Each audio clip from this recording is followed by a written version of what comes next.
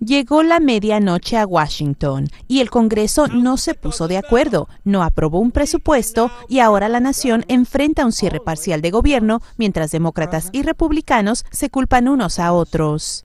Una disputa sobre la ley de salud del presidente Barack Obama fue la razón principal, pero la ley de salud no se verá afectada en sí porque desde el martes millones de personas podrán comprar un seguro médico.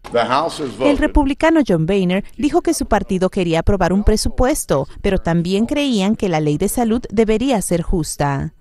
El Senado de mayoría demócrata rechazó el plan republicano y los demócratas acusaron al partido opositor de tratar de dañar al gobierno. No creen en el gobierno, dijo la demócrata Nancy Pelosi, y añadió que el cierre de gobierno fue causado por el grupo conservador Tea Party del Partido Republicano. Con el cierre, casi 800.000 trabajadores federales deberán dejar de trabajar. Oficinas como la NASA y la Agencia de Protección del Medio Ambiente quedarán prácticamente cerradas, pero los empleados considerados esenciales, como los controladores de tráfico aéreo y los militares, seguirán trabajando. El presidente Obama anunció que las Fuerzas Armadas seguirían operando normalmente.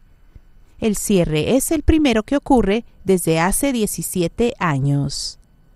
Rosalba Ruiz, Associated Press.